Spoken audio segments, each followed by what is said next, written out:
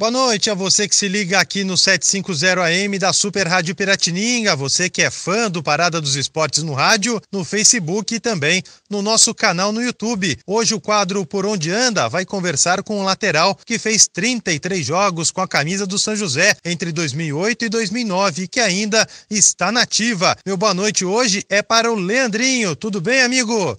Boa noite, é um imenso prazer falar com todos vocês da rádio e todos os ouvintes, e graças a Deus estamos todos bem. Leandrinho, para começar esse nosso papo aqui pela internet, me diz aí, qual é a sua idade hoje e qual clube que você está jogando atualmente? Eu estou com 35 anos e atualmente estou no Poconé, disputando o Mato Grossense. Legal, Leandrinho. Por aí o campeonato está parado, né? Ainda por conta da pandemia. Já existe alguma previsão da fase final do estadual para ser retomado? Existe alguma expectativa por parte de vocês, jogadores, e também dos dirigentes do Poconé? É, de nós jogadores sempre há uma expectativa né, muito grande de voltar, ainda mais que eu estava no Poconé e o Poconé estava bem, nosso time classificou para as retas finais. E estamos aguardando a resposta dos dirigentes, é, dos, da federação de Mato Grosso, para ver qual é, decisão eles vão tomar, se, se retorna e disputa é, essas retas finais aí, ou então eles dão alguma resposta do que pode acontecer. A expectativa de jogador é sempre estar tá querendo jogar, né, cara, diante de tudo isso que aconteceu, né. Leandrinho, e voltando no tempo, rapaz, como é que foram para você aqueles anos de 2008 e 2009 jogando aqui com a camisa da Águia do Vale? Fala de voltar no tempo é uma coisa maravilhosa que, e gostosa de lembrar e poder contar que eu pude participar, né, nesses dois anos jogando na Águia do Vale. Foi momentos muito maravilhosos para mim, até porque minha filha nasceu em São José e eu me sinto muito feliz e honrado por ter participado e jogado nesse time onde tem uma torcida abençoada e a gente sempre quer ver o São José lá em cima, né?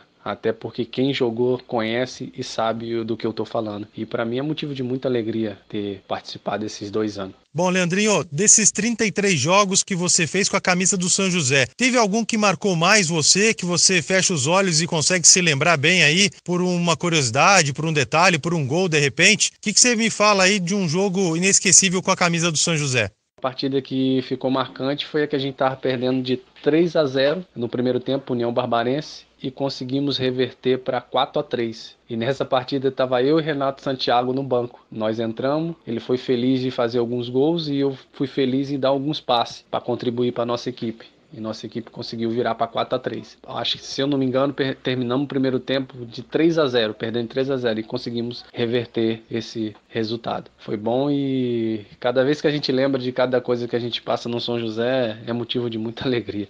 Leandrinho, e a sua saída do São José para o Taubaté? Teve algum motivo especial? Houve algum desacordo, algum problema aí com o técnico Walter Ferreira? me lembro que você não era tão utilizado no esquema tático dele. Houve algum problema, alguma, alguma situação desse tipo que te desagradou e aí você acabou saindo da Águia para jogar no Taubaté? Problema não tive nenhum. E o Walter chegou com uma proposta de trabalho diferente do que eu estava jogando. Então, com certeza, ele tinha que mudar e ele tinha que fazer alguma coisa para botar o trabalho da forma que ele queria. E ali tinha jogador que fazia a função que ele queria. E ali, em questão de jogar, eu tinha mesmo que trabalhar, esperar minhas oportunidades e tentar me encaixar da forma que ele queria. E eu não vinha muito sendo utilizado por ele, no meu ponto de vista, porque ele queria uma coisa que talvez eu não correspondia da altura que ele queria. Mas eu fez, não falo assim da boca para fora, mas com toda sinceridade e de coração, gostei de trabalhar com o Walter, mesmo não jogando e não conseguindo alcançar aquilo que ele queria, porque meu, meu estilo de trabalho era diferente assim do que ele tinha em mente do que ele queria colocar para jogar. Mas a minha saída, eu acho que era o momento de sair. Mas eu, sinceridade, eu sempre tive vontade de voltar, porque é um lugar que me acolheu muito bem. E igual eu falo, minha filha nasceu em São José. Né? Nos anos seguintes, você chegou a negociar uma volta para a Águia? Chegou também a acompanhar um pouco aí de informações do São José? Como é que estava o time no campeonato? Chegou a virar um pouquinho torcedor, Leandrinho, da camisa do São José? Eu sempre tive vontade de voltar, sair, né? Porque você acaba acostumando no lugar, dando aquele ritmo, né? Com aquele ritmo, com a cidade, a cidade boa, né? E com a torcida, é, assim, com carinho, né, das pessoas que tinha por mim, né? E a gente acaba virando um pouquinho torcedor, assim, quando, no momento que, que sai, né? Sempre acompanhando pela internet, vendo resultados. A gente sempre vira um pouquinho de torcedor, isso aí não tem sombra de dúvida nenhuma. Bacana, Leandrinho. Olha só, depois da Águia do Vale, você passou por vários clubes, né? Teve até uma passagem pelo Cruzeiro de Belo Horizonte. Eu te pergunto, qual foi o seu melhor momento nessa carreira que está até hoje aí com 35 anos no Poconé? Cara, quando você me faz essa pergunta, passa altos filmes na minha cabeça, mas eu quero responder é, de acordo com o que você me pergunta, porque eu tinha tanta coisa para falar, mas eu só queria deixar aqui para as pessoas que, que estão ouvindo que você precisa acreditar onde ninguém acredita. Você precisa ter fé naquilo que você não vê, mas trabalhar para que as coisas aconteçam na sua vida. E o meu melhor momento foi quando eu fui para Alagoas, né? Passei lá pelo Corinthians e depois parei no CSA, aonde vinha muito bem. Eu ganhei até um troféu, eu acho que de melhor da posição lá no estado. Foi um momento bom porque no CSA lá eu pude fazer coisas e presenciar coisas que é só vivendo para poder é, sentir o que eu tô sentindo quando eu falo sobre de melhor momento. E ali foi um jogo da Copa do Brasil onde a gente perdeu de 3 a 0 pro Cruzeiro e depois desse jogo o Cruzeiro me comprou do CSA. E a chegada no Cruzeiro, cara, quem é que não, não fica feliz em, em chegar num time de expressão? Você eu até brinco, eu acostumado a jogar videogame com os caras e de repente você tá do lado de todos os caras que tem um histórico aí lindo, tem uma história de vida maravilhosa aí, jogou, foi campeão em todos que é lugares. É, peguei o elenco do Cruzeiro onde jogadores nomeados, então isso foi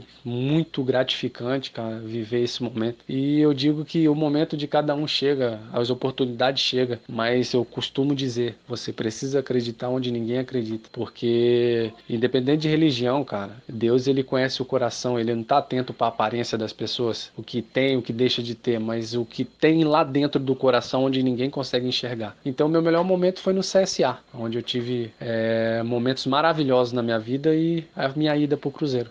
E o seu futuro, amigo? Já está com 35 anos, você pensa em seguir no futebol em outra função de repente, depois que parar de jogar futebol? Ou pretende fazer uma outra coisa fora do esporte? De repente já tem aí engatilhado um, uma nova função, um, um, investimento, enfim. O que vai ser do Leandrinho depois do futebol, depois que pendurar as chuteiras, hein, amigo? Você me faz a pergunta, eu acho essa pergunta muito importante, algo que a gente deve parar e repensar. É, se estamos realmente preparados para parar. E cara, e Deus me mostrou algo quando eu tive uma lesão que eu achei que eu não ia voltar mais jogar bola e graças a Deus Deus me curou e me fez voltar no esporte novamente. Eu tô aproveitando agora vivendo algo diferente, né? Não só jogando, mas olhando aquilo que eu não olhava atento, que era às vezes viajava, às vezes vivia em altos lugares, mas tem uma coisa que às vezes nós não paramos para pensar. Nós vivemos esse tempo todo e construímos família. E nossas famílias nos seguem. Vive onde a gente vive,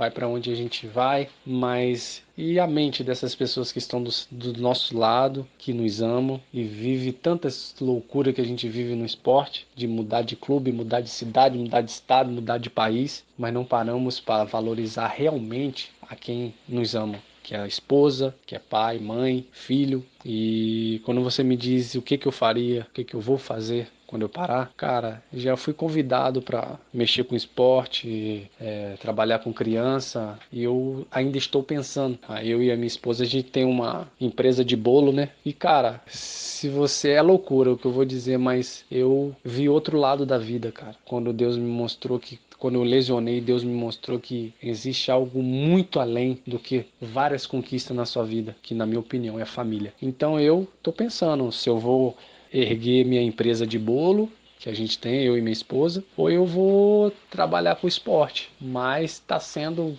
o momento que eu tô vivendo tá sendo muito especial, porque eu vivo com as minhas filhas todos os momentos, né, cara? Como a gente trabalha, então a gente vive todos os momentos junto. É, é gostoso, é gratificante você viver com a sua família, viver mesmo, não nessa loucura de viajar, deixar, mas tudo tem o seu tempo. Então, a minha resposta hoje, cara, ainda estou pensando se eu continuo no esporte ou um, engreno na minha empresa que a gente tem aqui de bolo. Mas com certeza a gente sempre vai estar com um pezinho no esporte Isso aí é, é o do sangue nosso, né?